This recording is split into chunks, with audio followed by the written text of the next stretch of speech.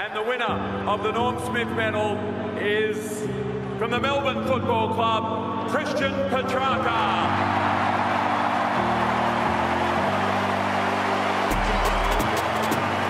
Pickett at the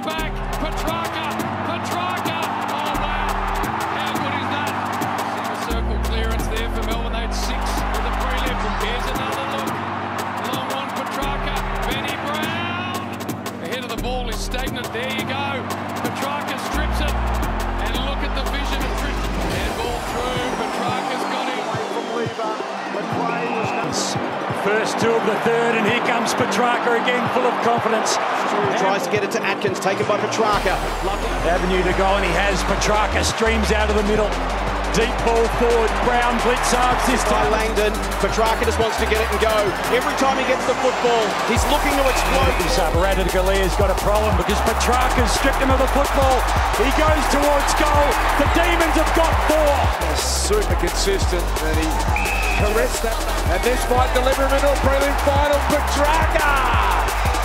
Charles Petracca back-to-back goals. Quick as a flash. The power of Petracca, that was just brilliant. Again, Tavani instantly paddled back towards Petracca, working in a phone box and got out of trouble. Now to Hahn. Lurking at ground level, flips a handball over to Spud. Give that one to Strawn, but Petracca. Oliver and Petracca. Petracca, been enormous. Gets around, thumps it inside 50 by Neal-Bullen. Now, Petrarca off a step, so dangerous. Gets a magnificent piece of that.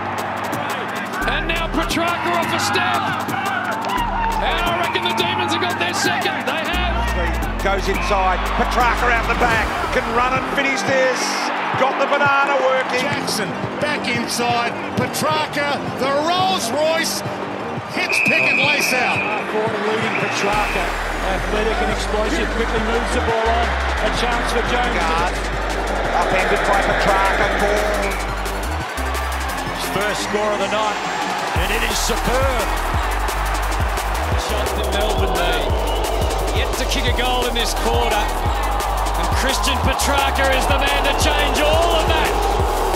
Adams the crunch with McCluggage. Petracca beautifully off the back. Oh. And a neat kick as well.